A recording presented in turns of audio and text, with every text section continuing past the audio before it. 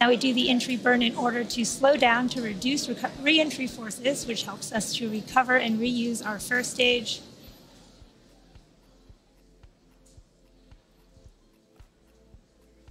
During that entry burn, Falcon 9 is decelerating, firing those three Merlin entry Merlin engines, but we're still moving really rapidly, so the vehicle will actually fly through its own plume and deposit some of that carbon-based fuel soot that Falcon 9 uses onto the booster.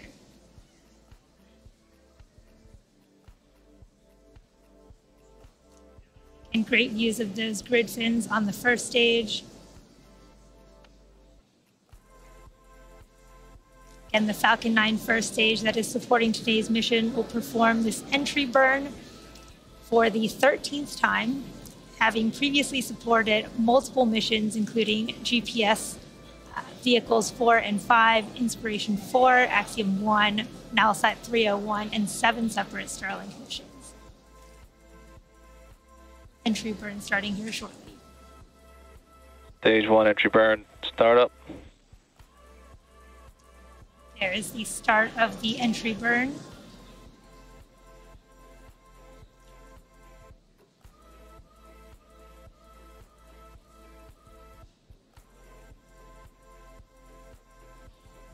Stage 1 entry burn shutdown. Good entry burn from the first stage. Stage 1 FTS is saved. Flight termination system is safe for stage 1 You can see those attitude control thrusters on the first stage firing there. Both vehicles continue to follow nominal trajectories. Those first and second stages are looking good. And our next milestone is the stage one landing burn, which is coming all the way back to landing zone one in Cape Canaveral, starting in about 15 seconds here. Stage one transonic. Stage 2 FTS is saved. Stage 1 landing burn. Start of our stage 1 landing burn. Great drone footage of the first stage that you can see on the right hand side of your screen.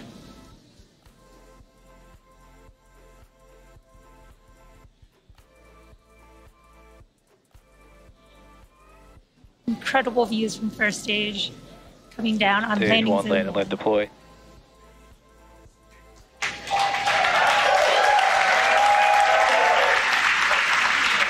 That was a beautiful landing. One, of, beautiful landing of the first stage, and there you have it.